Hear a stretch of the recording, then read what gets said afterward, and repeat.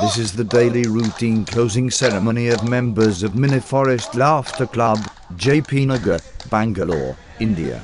First they gather in two files facing each other. Then they light imaginary fire and throw all their worries into that and burn them. The fire is doused soon after.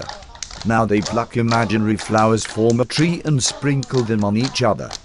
Each ritual is followed by clapping of hands and shouting ho, ho, ha, ha, ha. This is followed by placing both their palms on the head and saying loudly, Let us learn all good things from each other.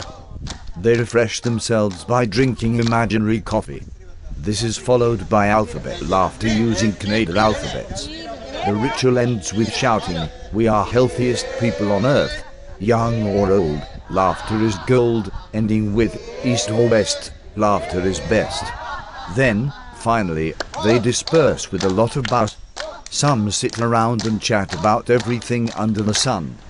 They are all jolly good fellows. They come, they laugh and they conquer. As Dr. KJ Shenoy says, laughter is truly the best medicine.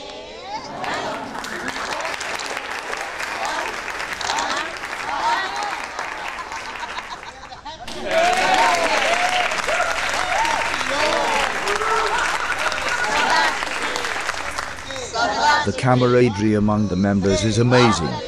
From here they go home only to return the next day to haunt the visitors to the mini forest with their lovable antics.